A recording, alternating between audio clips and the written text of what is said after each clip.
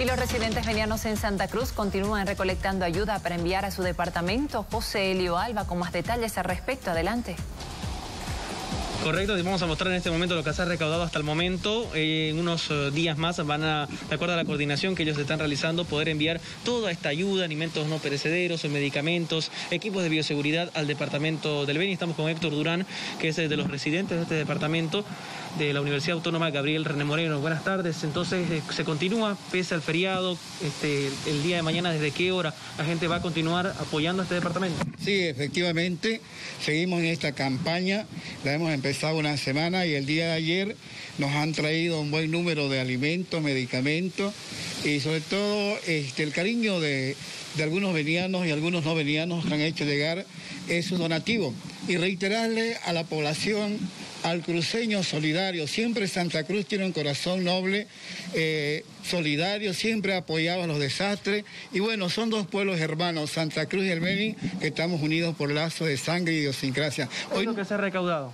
Bueno, hemos, hemos recaudado medicamentos. En cuanto a alimentos, tenemos arroz, azúcar, fideo, eh, harina y otras cositas que nos están haciendo llegar. Así que reiterar a todos los venidanos y amigos que nos están viendo desde mañana viernes y la próxima semana vamos a estar afuera de la Universidad René Moreno en la avenida Centenario, la entrada principal por la avenida Centenario.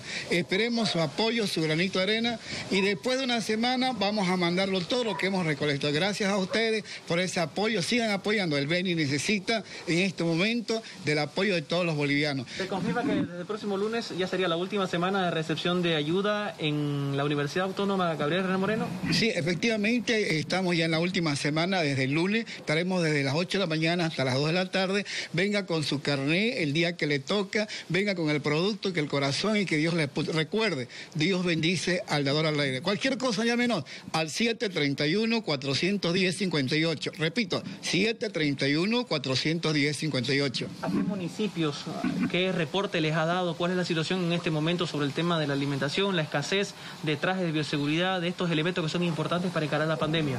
Bueno, nos han llamado de la ciudad de Trinidad y de Guayaramerín.